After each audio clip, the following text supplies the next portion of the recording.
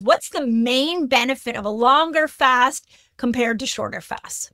It's a really good question. I think of the shorter fasts as like maintenance. They're they are keeping you young, they are keeping you metabolically healthy.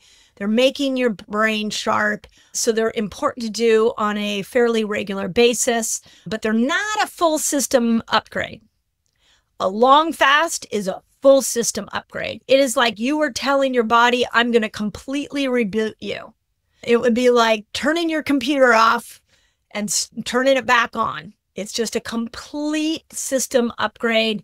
I think twice a year we should be focused on them. Like I mentioned, definitely the stem cells will help repair other cells in the body. You get all that autophagy that really gets rid of the, the cells that don't work well for you. But you don't, you know, once a year is even fine, but twice a year is optimal and you don't need to do it longer than that. I know a lot of people love doing it longer than that, but you don't need to do it longer than that. So, and the shorter fasts are little microdoses, like pulses of healing that you're giving your body every day, but you're not maybe not doing a full system upgrade.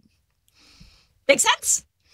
So, there you go. This is why I love fasting. I hope this some of this was new, but in all the research, the extended research that I've been doing, recently on the aging years for women, I am more convinced than ever that these longer fasts are incredibly beneficial for the brain, the body, and the fountain of youth. So I won't say anymore. Okay. Hope that helps.